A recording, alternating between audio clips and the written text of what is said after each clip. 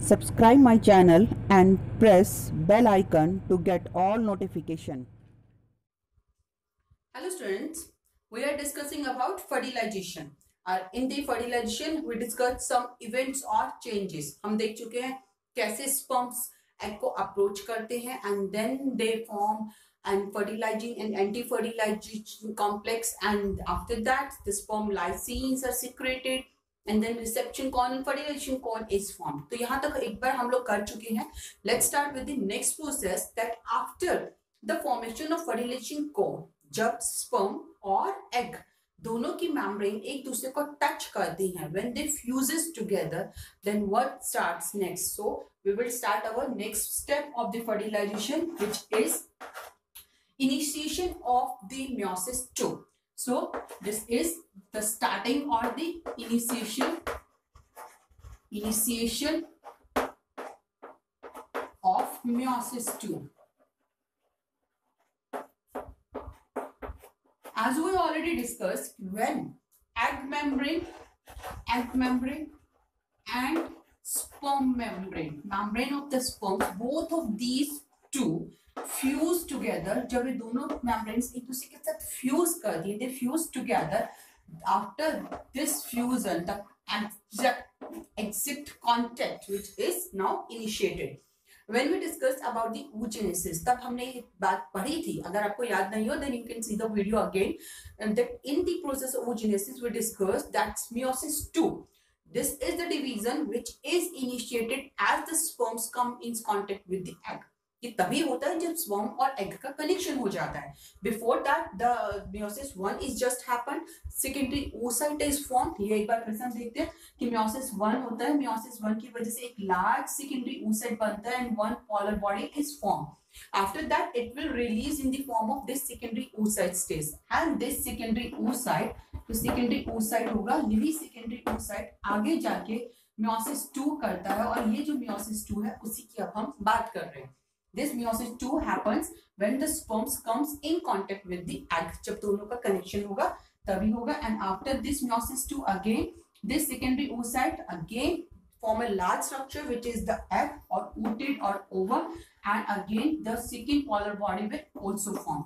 It will also form two structure. One is the egg and another one is the second polar body. तो second polar body भी बनेगी और egg भी बनेगा due to the process of meiosis 2. Now let's see. हमने देखा this is the egg membrane ये egg membrane है and this is the another membrane जो बाकी की मेम्ब्रेन्स हैं this all not get degenerated हमने देखा है कि पूरी की पूरी मेम्ब्रेन्स डिजनरेट नहीं होती। ये सिर्फ़ वहीं से डिजनरेट होगी जहाँ से स्पर्म एंटर कर रहा है। And here the fertilization cone is form by which the sperms acrosome sperm का जो एक्रोसोम है, वो इसके साथ कनेक्शन बनाता है and it will come in contact with this after that the meiosis two will start इसके बाद मियोसिस टू स्टार्ट होगा। जब मियोसिस टू स्टार्ट होता है at that time the membranes will again remain outside membrane जो है, वो बाहर प्रेजेंट रहेंगी। And the two parts means the secondary oocyte, now divide into the egg into and the polar body. तो इनके, इसके अंदर डिवीज़न स्टार्ट हो जाएगा मियोसिस टू हो जाएगा। मेम्ब्रेन के अंदर रहते ही, होगा। These membranes will remain there ये यही की यही रहेंगी। And here we can draw the again the sperm which is in connection with them and this structure is now called as egg ovum और टूटेड अब हम इसे बोलेंगे egg and this is the second polar body this polar body will also form again the concept will remain remain same complete cytoplasm will remain with the egg cytoplasm जो होगा वो egg के पास ही रहेगा polar body के पास cytoplasm नहीं जा रहा है it's and this polar body will degenerate later इसका कोई function नहीं है it will remain remain here for some time and later on it will get degenerated and now the egg is formed nucleus जो होगा it will present here and this egg is now complete After completion of meiosis 2, it will form an haploid egg ovum or oocyte. So we can say that initiation of meiosis 2 happens when the fusion of egg and sperms happens. उसी के बाद ये होगा. Now let's see what will be the next step. Next process क्या होगी? After this meiosis 2, जैसे meiosis 2 हो रहा है, साथ में ही इसके साथ एक और process होती है. ये हम यहाँ पे देखते हैं. This reaction or this process is known as cortical reaction. Cortical reaction और cortical reaction what is this cortical reaction क्या हो रहा है इस कॉर्टिकल रिएक्शन के अंदर? इसके लिए थोड़ा सा हमें एक बार स्ट्रक्चर को फिर से रिकैप करना पड़ेगा. This is the structure of the air and inside the membrane the egg is divided into two parts the outer part ये जो पार्ट था cortex part this is the cortex part of the egg which is it is known as exoplasm इसको हमने क्या नाम दिया था? Exoplasm and inside this pla uh, this plasm or this part of the egg is not known as ooplasm. This is ooplasm. And what happens here in this reaction, this in the cortical reaction, this exoplasm part, which is the cortex part of the egg, it has some granules-like structure. It can have कुछ granules-like structure present होती है and these granules are known as cortical granule. इनका नाम होता है cortical granules. These cortical granules are now forming the or doing the cortical reaction. कैसे होगा that when the, besides ये division के साथ हो रहा है साथ के साथ ही हम कह सकते हैं this process is also happening and the, for this process for this cortical reaction the plasma membrane ये जो plasma membrane है uh, this is the membrane okay what happened for this what happens here the vitelline membrane this is the egg and it has ooplasm यहाँ पे मेरे को बनाना है ooplasm and inside it's uh, this is the ooplasm and outside is the exoplasm what happens here for this this membrane of the egg it's just lifts upward membrane जो होगी वो ऊपर की तरफ लिफ्ट कर जाएगी अगर हम ऐसा ना बनाए हम पूरी membrane egg की स्ट्रक्चर ना दिखा के just we can draw the membrane like this this is the egg membrane and this part is the cortex part. Or we can say this is the exoplasm ये exoplasm part है and this is the egg membrane this egg membrane lifts upward ये ऊपर की तरफ़ lift हो रही है and it forming a gap between the membrane and the exoplasm यहाँ पे एक गैप बन जाता है स्पेस क्रिएट हो जाता है by lifting the egg membrane and this space which is formed here by lifting the egg membrane between this egg membrane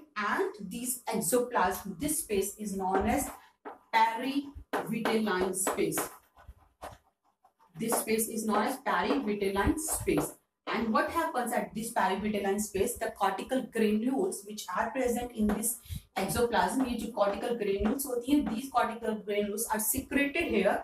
यहाँ पे secrete की जाएँगी and in this perivitelline space and some cortical granules will bind with this inner side of this egg membrane. तो कुछ inner side पे bind हो जाएँगी. And after the binding यहाँ पे क्या हो रहा है they are binding here reason is that that they make an impervious way so that the another sperms will not come here so this is another way to avoid the polyspermy यहाँ पे polyspermy को avoid किया जा रहा है and when this cortical granules bind with the inner side of the egg membrane it is known as fertilization membrane इसे अब हम कह देंगे this is fertilization membrane So here fertilization membrane is formed by the cortical granules when they bind with the inner side of the egg membrane. Fertilization membrane is formed and reason for the formation of this fertilization membrane is to avoid polyspermy. Polyspermy को avoid करने के लिए बना so that the another sperm will not enter inside कोई और दूसरा sperm जो है वो अंदर आके एग के साथ रिएक्शन ना कर सके after this when this happens this fertilization membranes will form here Now let's see what happens.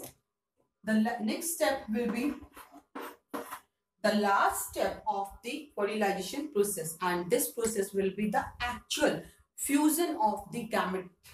So last step fusion of nuclei of female and male gamete.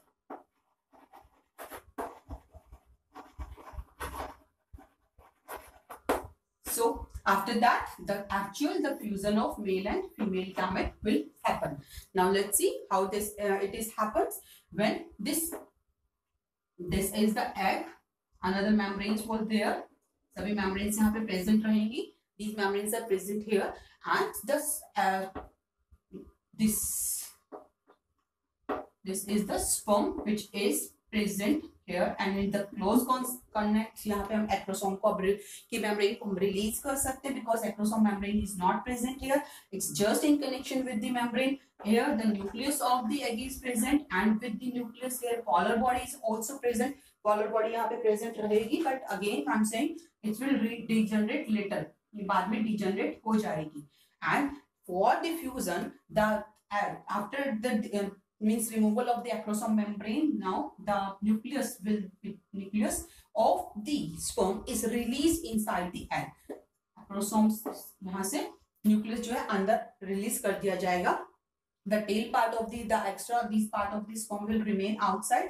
Only cytoplasm with nucleus will released here and middle piece in the middle piece we have studied that it has centrioles also so these centrioles will also come inside centrioles भी आएंगी and after entering they will move at the opposite poles centriole जो है वो opposite pole पे move कर जाएंगी and here this is the egg plasm uh, egg nucleus and the end by which the and sperm nucleus enter inside the egg this end is known as animal pole ये जो पोल होगा, ये animal पोल होगा। ये हमने पहले भी पढ़ा है।